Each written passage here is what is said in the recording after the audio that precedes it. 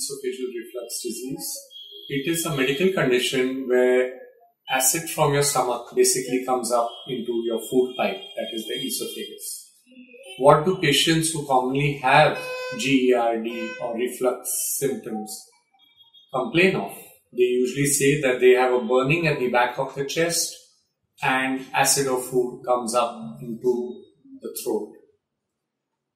This commonly occurs because the valve between the food pipe and the stomach is weak and different things that we do in our daily life makes these symptoms worse. Example, if you continue to smoke, drink extra alcohol, if you are overweight, you eat fried food and fatty food and spicy food, then all these things makes your reflux worse. So what is the treatment for it? It's simple.